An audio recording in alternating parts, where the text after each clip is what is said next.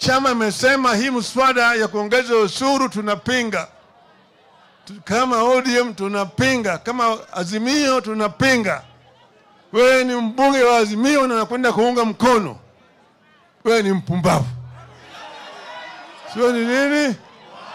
Ni nini? Chama ina haki ya kufanyia wewe nini? Kuchukua hatua ya adabu. Chama inaweza kuchukua hatua ya adabu. Wewe unatoka hapo unakwenda kufanya kitendo cha usharati, kitendo cha umalaya. Na ile chama ambaye ni dini yetu, ati wewe nakwenda kutafuta maendeleo. Maendeleo gani? Maendeleo gani? Wewe umekuwa malaya ya kisiasa, umekuwa mkahaba, umeenda pale. Kinyume ya vile wale watu wako ambao walikuchagua, ati oh, mimi natafuta barabara, ati mimi natafuta sijui hospitali, mimi natafuta nini. Hakuna barabara na kwenda kupata kwenye Ikulu. Wewe sasa umewacha msimamo ya chama chako, umeenda kwa upande kingine, wewe mpaka uchukuliwe hatua ya kinidhamu.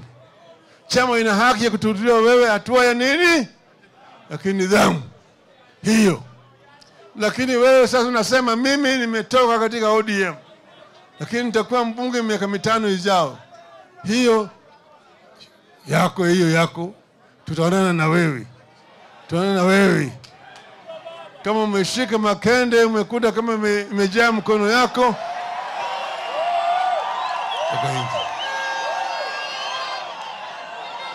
nje.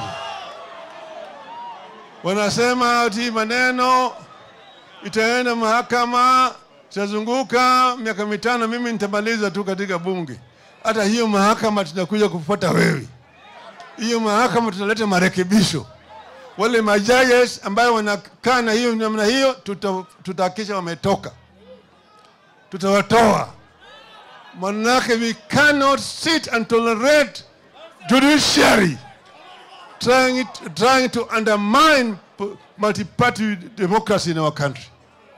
Kwa wale ambao ni wanakuwa ni majudges ambayo wanachukua hongo kwa hongo ku- kuchelewesha uamuzi tutaonana na wao, tutaonana na wao.